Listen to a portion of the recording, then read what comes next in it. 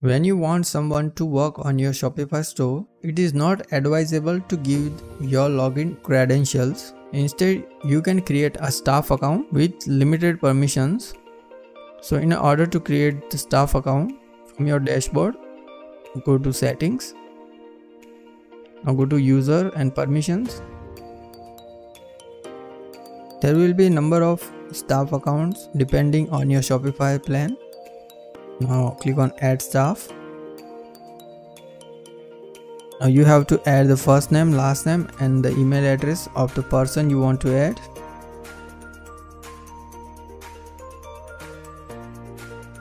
So these are the permissions.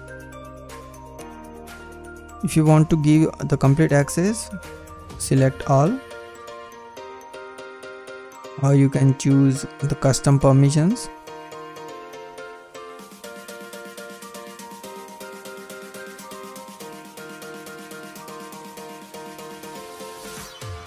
You can also give specific app permissions. After that, send invites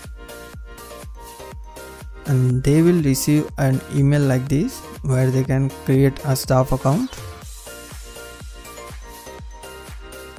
Now if you want to edit something, now click on the person name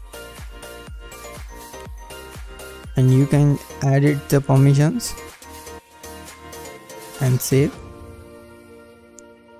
and when your work is done you can remove as well. Now click on remove enter your password and it's done. Leave us a comment below if you still have any queries. Make sure to subscribe to our channel so you never miss such videos